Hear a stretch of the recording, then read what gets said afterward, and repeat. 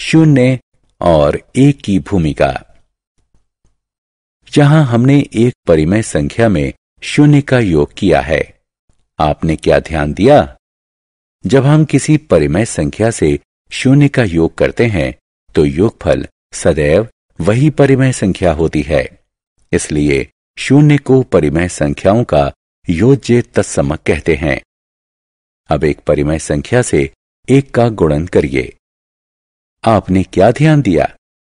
जब हम किसी परिमय संख्या का गुणन एक से करते हैं तो गुणनफल वही परिमय संख्या होती है।